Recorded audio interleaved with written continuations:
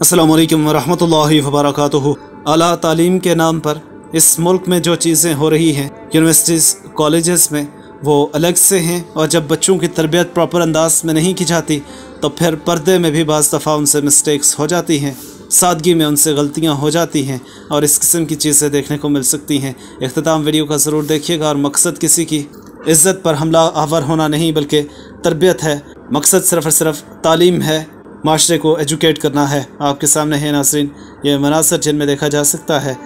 कुछ फ्रेंड्स यहाँ पे मौजूद थी, जो कि बाहिजाब हैं और अचानक से एक आवारा यहाँ पे पहुँच जाता है, प्रपोज़ करने के नाम पे, और एक बैलून वगैरह इन्हें पेश किया जाता है, इस लड़की को पेश किया जाता है। ये ट्रेंड्स चल पड़े हैं असल में।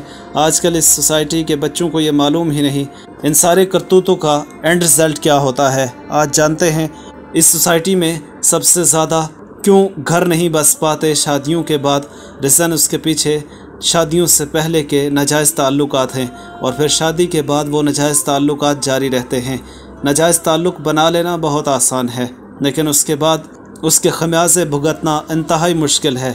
इस चीज़ को न जाने हमारे माशरे के बच्चे कब समझेंगे। असल में ठोकर खा के ही समझा जाता है इन लोगों की तरफ़ से।